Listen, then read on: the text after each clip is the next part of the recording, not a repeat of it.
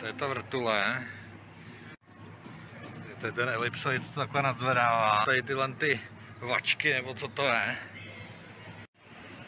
Tak to, to synchronizovalo takt tady toho kulometu s touhle vrtulí.